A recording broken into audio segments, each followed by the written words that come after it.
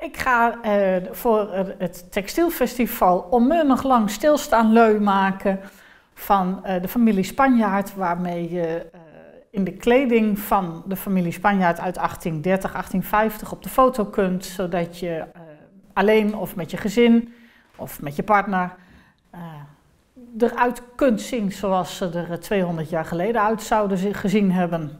Ik heb gekozen voor de familie Spanjaard, omdat de familie Spanjaard toch echt wel de belangrijkste textielfamilie van Borne zijn geweest. En ik had voor andere families kunnen kiezen.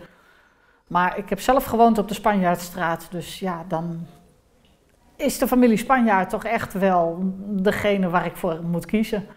Deze kostuums kunnen we straks zien op uh, alle locaties waar de activiteiten zullen gaan plaatsvinden. Dus als er een film in het Cultuurhuis gedraaid wordt, zullen de lang, onmunnig lang stilstaan leu bij het cultuurhuis staan of hier bij het bussenmakershuis op het moment dat hier een tentoonstelling is.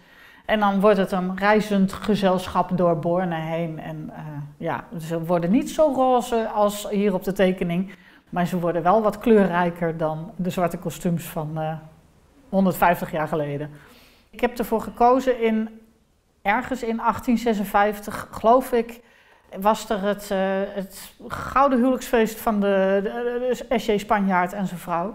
En het lijkt mij een mooie gelegenheid om dat uh, feest aan te pakken, om ze kleurrijke kleding te geven. Feestelijke, kleurrijke kleding. Het is dus uh, onmunnig lang stilstaan, is eventjes stilstaan in de tijd.